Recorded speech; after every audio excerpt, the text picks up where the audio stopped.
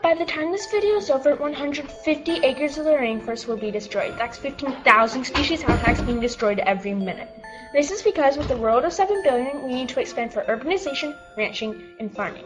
This creates habitat loss for 50% of the species on Earth, all of which live in the rainforest. We destroy the rainforest for useful plants like palm plants and lumber, but they would never be there if not for the bees, bats, and other animals that pollinate and keep pesky bugs away.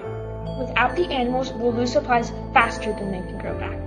The animals will also be driven out of their former habitats and will become invasive species, transmitting all types of unfamiliar diseases we may be unable to treat with the lack of medicine we get from the rainforest.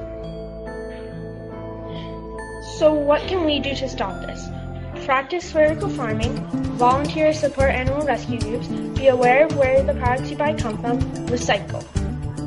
Save the rainforest, save ourselves.